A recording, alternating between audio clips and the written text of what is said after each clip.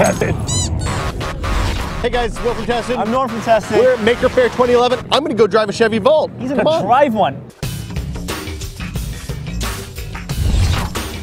The first 25 to 50 miles in this are gas-free driving. and more if you're in kind of stop and go, less if you're in uh, freeway. Yeah.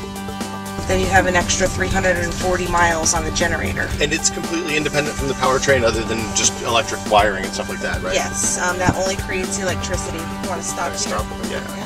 It does have equivalent, um, it's at 273 hor- or foot-pounds of torque. Okay. So really good get up and equivalent to a 250 horsepower On the right side. Does it have a? I mean, is it a traditional transmission or is it? No, it's an automatic one transmission. Okay. Um, since it doesn't run like a regular vehicle, it's always Right, because it's there's no there's no gears, right? You're just one speed all the way through.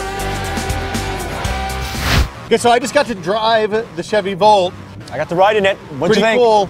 Um, it's real quiet. Very, very quiet. Very All qui- we could hear was like the other loud boots at the Maker Faire. So we didn't obviously drive the full 35 and 37 miles Yeah. that they promise you can get with just the electric engine. It was a relatively short course, but they did take you through like braking, Yeah. um, and that charges the, uh, the the motor a little bit. Um, if you look under the hood, so you have the electric motor right here, and that takes about 10 hours to charge on a standard 120 volt outlet.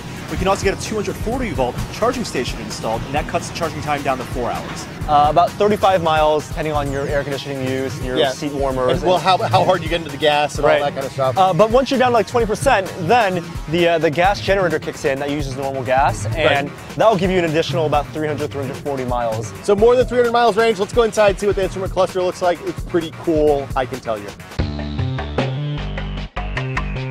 So we're in the car. Uh, this is the dash. Everything's touch with the exception of a few key buttons.